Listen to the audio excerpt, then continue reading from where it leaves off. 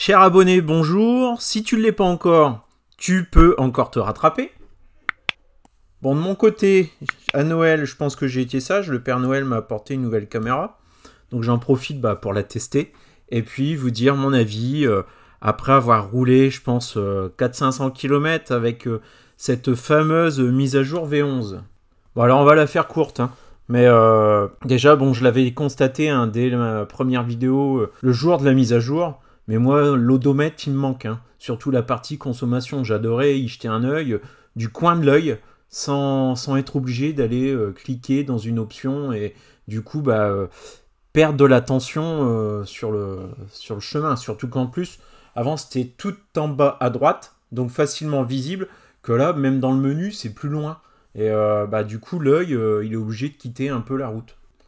Pareil, lorsque moi et ma femme, on est dans le même véhicule et que nos deux téléphones bah, communiquent avec la voiture, elle sait pas trop sur quel profil se mettre.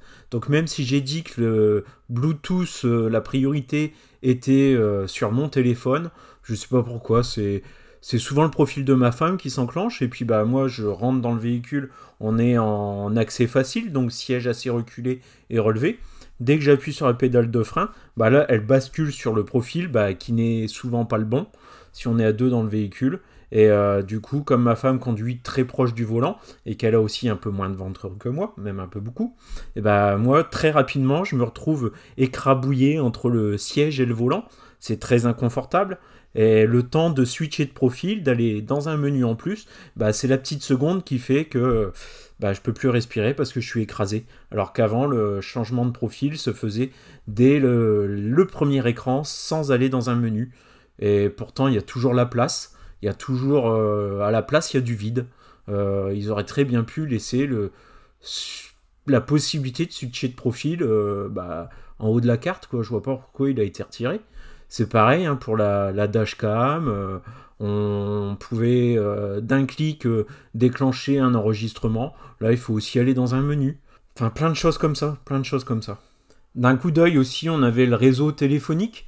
Euh, on pouvait savoir bah, pourquoi la communication fonctionnait mal ou autre, si ça venait de mon interlocuteur ou de, de moi.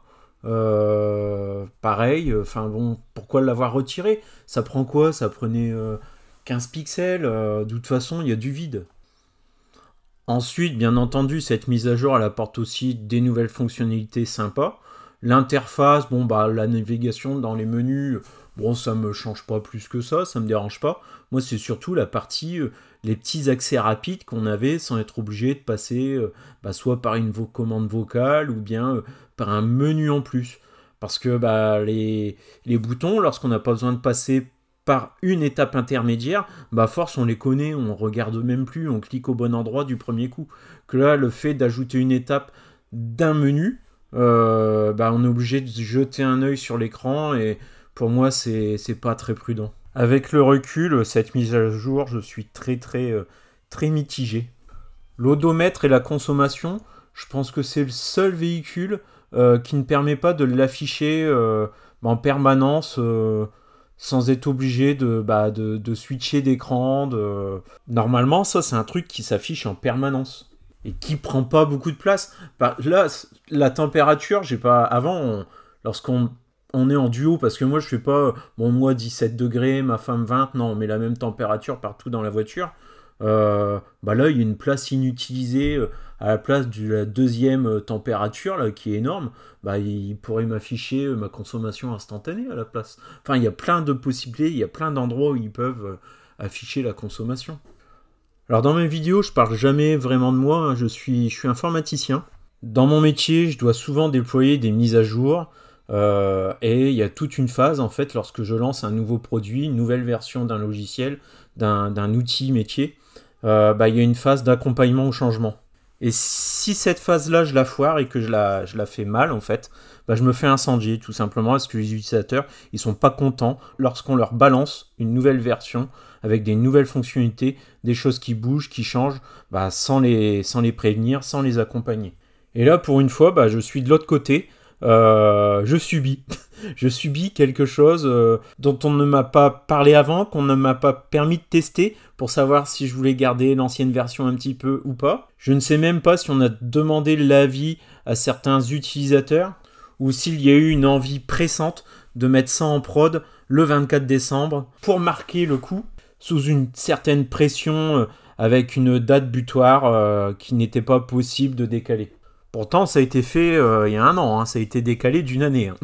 Personnellement, je m'attendais à une V11 bien plus similaire à ce qu'on retrouve sur les modèles E et X. Ne pas oublier que sur ces deux modèles, il y a également un écran sur le tableau de bord qui permet d'afficher la consommation instantanée, les moyennes, etc. Enfin, le bilan, c'est que pourtant, je pense pas être quelqu'un réfractaire au changement. J'impose souvent des changements à mes utilisateurs. Je suis même quelqu'un bah, d'assez geek. Hein. Mais là, je trouve que Tesla, ils ont fait fort quand même. Hein. Bon, bravo quand même d'avoir réussi à déployer ça dans un temps record. Mais pour monsieur et madame tout le monde qui ne sont pas forcément geeks et euh, bah, dans la technologie euh, comme je peux l'être, il euh, y a de quoi déstabiliser plus d'une personne. Hein. Puis côté communication, il n'y a rien en fait. On n'a même pas reçu un mail pour dire qu'on allait avoir une nouvelle version, des guides pratiques ou ce genre de choses.